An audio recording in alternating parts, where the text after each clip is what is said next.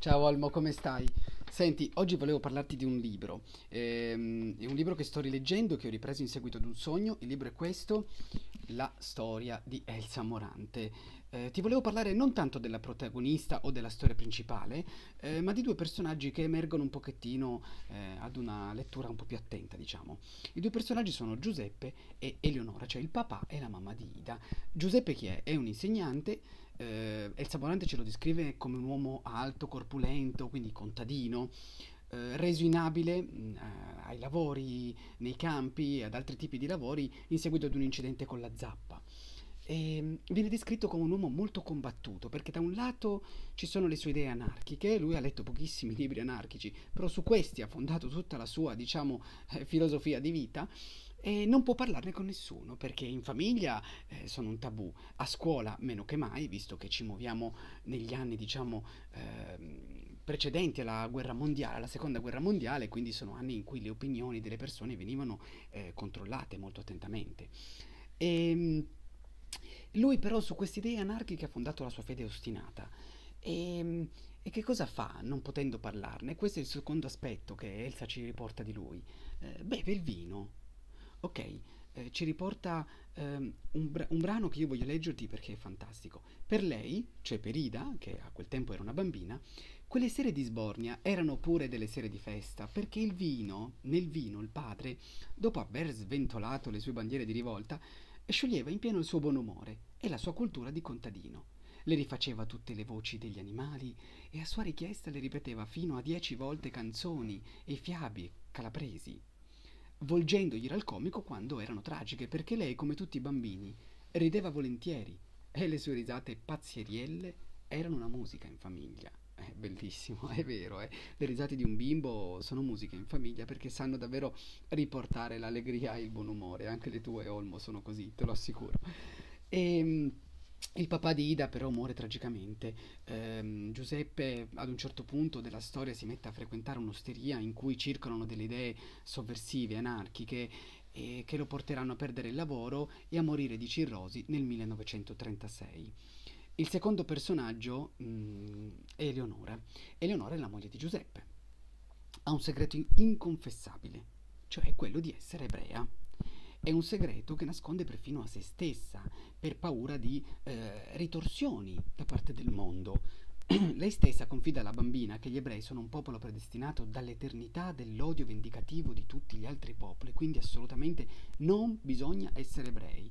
E fa battezzare sua figlia Ida eh, con una cerimonia religiosa cristiana e cattolica pur di rinnegare, di rinnegare questa, sua, eh, diciamo, ehm, questa sua appartenenza. Ad un certo punto però Nora si fa stizzosa ed esasperata, non tanto per la morte di Giuseppe, per la morte del marito, quanto perché eh, sente in giro che è stata diffusa la notizia di un imminente censimento di tutti gli ebrei d'Italia, con obbligo di denuncia personale. Nora impazzisce perché questa denuncia personale va proprio a contrastare il suo segreto, che lei non vuole che il mondo sappia e non, forse vorrebbe nasconderlo perfino a se stessa. E così non esce più di casa, spegne la radio, non va più a fare la spesa e incomincia a vivere una specie di delirio in cui si convince eh, che il censimento è già stato fatto e che lei presto eh, sarà chiamata a rispondere di questa sua, diciamo, eh, questa, del fatto che non si sia presentata, ecco, mettiamola così, in tempo per il censimento. È diventata una fuorilegge, si sente una fuorilegge. Eh, incomincia a sentire dei rumori per le scale, i fiati eh, dei, dei, dei, militari, dei poliziotti che arrivano a chiedere appunto il rendiconto di questa sua eh, trasgressione. E allora cosa fa? È combattutissima eh, vuole scappare, ma dove può andare? Parigi, Londra, sono città troppo cosmopolite, troppo grandi per lei che è una donna ormai di eh, 58 anni e passa, eh, no, non può andarsene da sola e si convince di poter tornare in Palestina. Perché la Palestina? Perché è la patria evidentemente eh, degli ebrei ed è l'unica patria degli ebrei. Così una sera prende il vecchio mantello del marito, eh, con 3.000 lire, che erano tutti i suoi risparmi legati nelle calze, se ne va. Viene ritrovata morta, affogata in riva al mare, dove sperava nel suo delirio di imbarcarsi per la Palestina. Forse ci dice la Morante, eh, ha perso l'orientamento, forse credeva di navigare eh, in un campo di grano, in un mare di grano, dice.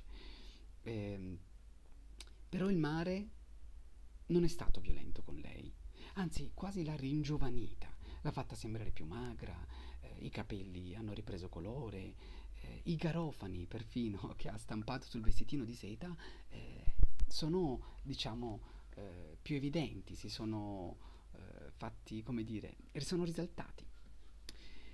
Ora perché ti parlo di questo? Perché noi adesso in questo momento noi stiamo affrontando, attraversando un periodo storico molto complicato, quello legato all'emergenza del Covid, un periodo storico in cui eh, anche se non ce ne rendiamo perfettamente conto, sta modificando gli assetti della nostra vita. Perché questo è il messaggio che ci dice il Samurante. Eh, la storia è presente senza mai essere nominata. Questo ci dice la storia di Giuseppe e la storia di Eleonora che la storia ci sovrasta e influenza il nostro modo di vivere, le nostre decisioni, eh, il nostro modo di relazionarci con il mondo, eh, ci, mm, ci, immerge praticamente e spesso e ci uccide anche, perché pensa al padre, pensa a Giuseppe, di cosa è morto? Di cirrosi epatica. Ok, è morto perché beveva, ma perché beveva? Perché lui aveva delle idee che la storia non riconosceva e quindi lui, le sue idee eh, dovevano essere in qualche modo affogate dentro l'alcol. E pensiamo a Eleonora perché è morta? È morta di paura, fondamentalmente. La storia l'ha spaventata talmente tanto che lei, piccola, eh, non è riuscita a reggere questo confronto. E questa è la lezione, secondo me, più bella di questo libro, perlomeno quella che io colgo eh, oggi e che ho voluto riportarti. Se ancora non l'hai letto, fallo, ehm, oppure quando vorrai farlo ricordati di venire a questo video così possiamo in qualche modo parlarne insieme anche se a distanza nel tempo. Un abbraccio Olmo, ciao!